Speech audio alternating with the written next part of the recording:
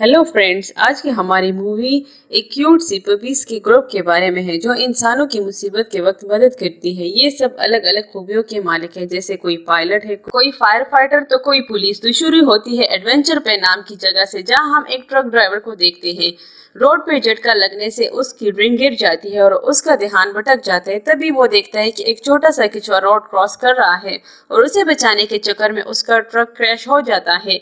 वो ट्रक के साथ ब्रिज पर अटक जाता है और मदद के लिए चिल्लाता है। उसे नीचे से जाती एक बोट दिखाई देती है और उसे पुलिस और फायर फाइटर को बुलाने का कहता है। तब बोट का मालिक उसे बताता है कि उसकी मदद सिर्फ़ पाव पेट्रोल ही कर सकता है, क्योंकि वही यहाँ का ख्याल रखते हैं।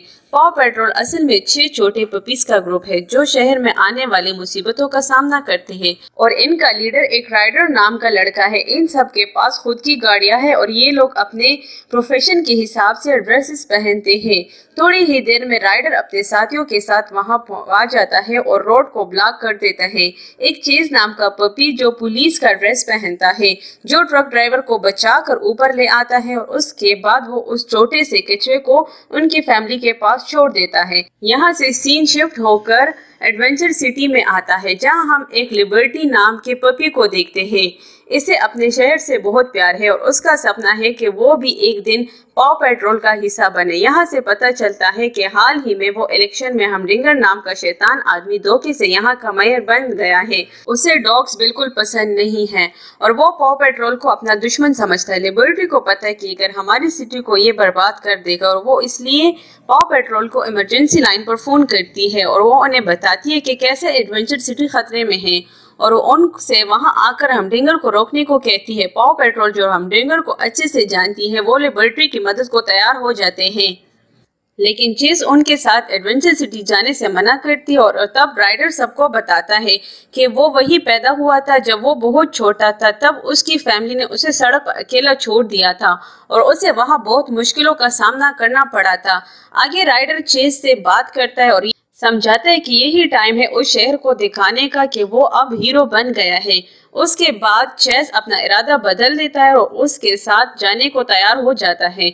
वो लोग अपना सामान पैक करके एडवेंचर सिटी की तरफ़ निकलते और शाम होते वहाँ पहुँच जाते हैं और राइडर सबको उनका नया हेडक्वार्टर दिखाता है, जो एक बहुत बड़ी आदिशान बिल्डिंग में है। सारे पपीज बिल्डिंग में जाते हैं और देखते हैं कि वहाँ उनके खाने के लिए एक नया डिस्पेंसर भी लगा हुआ है।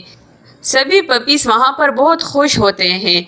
इधर मैयर सिटी में बने वेदर लैब में जाता है। वहाँ के इंचार्ज किंड्रा से मौसम के बारे में पूछता है। वो उसे बताती है कि ये नई मशीन आसमानों से बादलों को पकड़ सकती है ताकि लोग इसे लैब में लाकर एक्सपेरिमेंट कर सके। मेयर उसे बताता है कि आज शाम उसकी जीत की खुशी में वो फायर करेगा, बल्कि बारिश ने उसका प्लान खराब कर रखा है।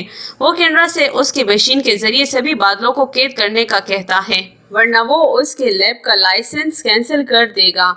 ना चाहते हुए भी केंड्रा को उसकी बात माननी पड़ी और और उसकी मशीन बादलों को पकड़ने की कोशिश करती है और वहाँ बारिश रुक कर धूप आ जाती है। हम डिंगर अपने फायर वर्क को ऑन करता है, लेकिन जल्द ही बेकाबू हो जाते हैं। लोग भी उससे बचने के लिए इधर उधर भागने लगते हैं और पूरे शहर में अफरा तफरी हो जाती है।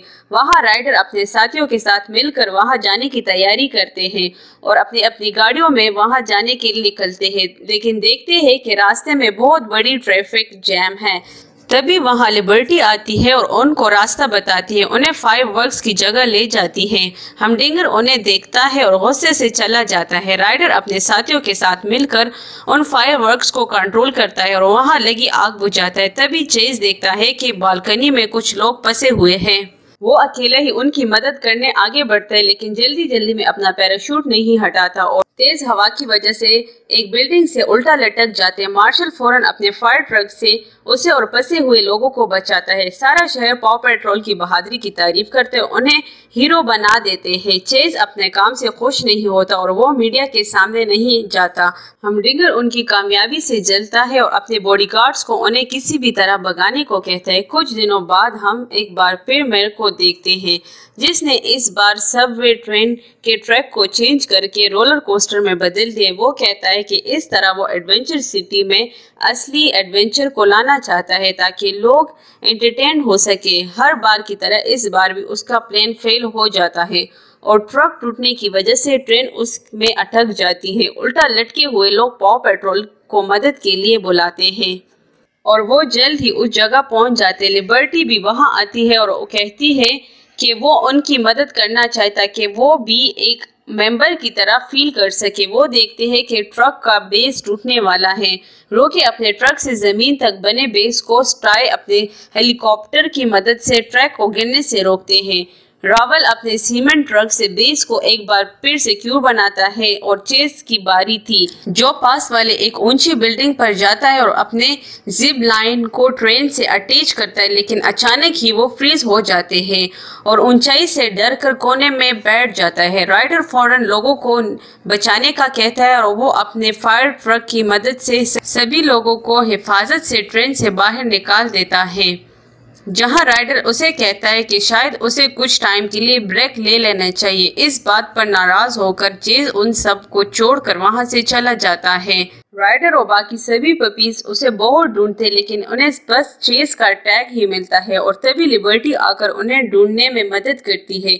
उधर पता चलता है कि मेयर के बॉडीगार्ड्स ने चेस को पकड़ लिया है, वो उन्हें लेकर एक बिल्डिंग में बंद कर देते हैं। वो देखता है कि वहाँ पे उसकी तरह और भी बहुत सारे डॉग हैं। वहाँ डॉग चेस को बताते हैं कि ये एक तरह की कैद है। चेस को वहाँ दोस्तों की बहुत याद आती है।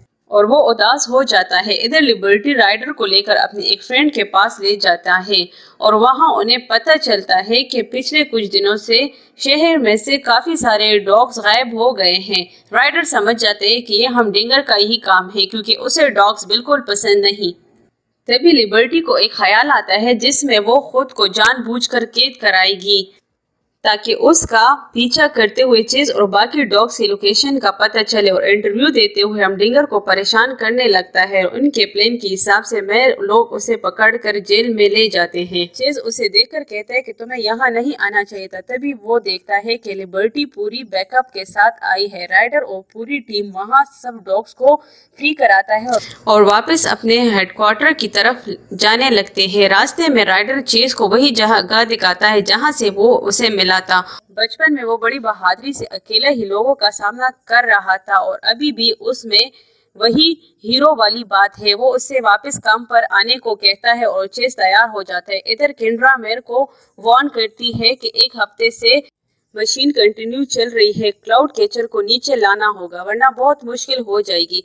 मैं उसकी एक नहीं सुनता और क्लाउड कैचर के रिमोट को तोड़ देता है। केनरा पब्लिक को भी वार्न करने की कोशिश करती है, लेकिन मैर उन्हें वहाँ से भी भगा देता है और वहाँ सबको अपनी बनाई हुई बिल्डिंग दिखाता है, जिसे वो हमरिंगर हाइट्स का नाम देता है और कहता है कि ये बिल्डिंग दुनिया की सबसे ऊँची बिल्डिंग है और इसके टॉप पर इसने ऑफ़िस बना लिया है ताकि वो पूरे शहर पर नज़र रख सके।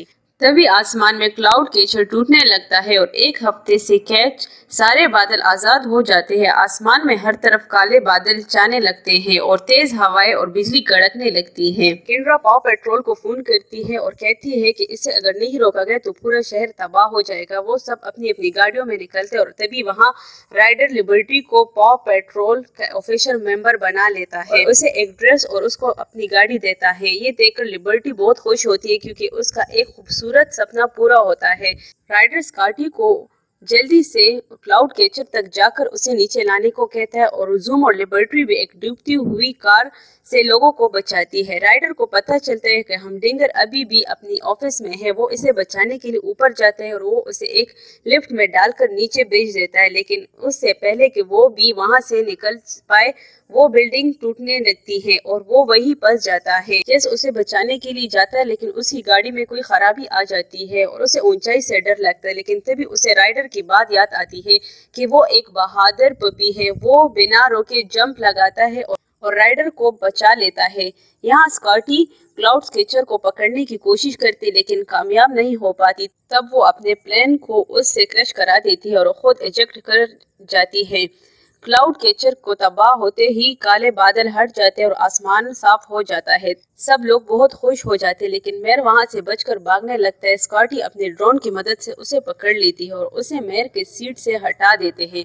वहाँ के लोग बहुत खुश होते हैं और उन्हें एडवेंचर सिटी की एक गोल्डन चाबी देते हैं। राइडर भी सबके सामने लिबर्टी को उसका टैग देता है, जिससे वो एक ऑफिशियल मेंबर बन जाते हैं। इनमें उसे मेयर के जेल से चौड़ाई एक डॉग का फ़ोन आता है। वो लोग उसकी मदद को निकल जाते हैं। और दोस्तों इसी के साथ हमारी मूवी ख़त्म होती है।